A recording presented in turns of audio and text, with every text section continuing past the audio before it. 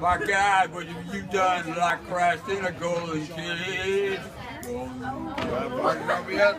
Yes, the Lord of eternity, if you believe in nothing.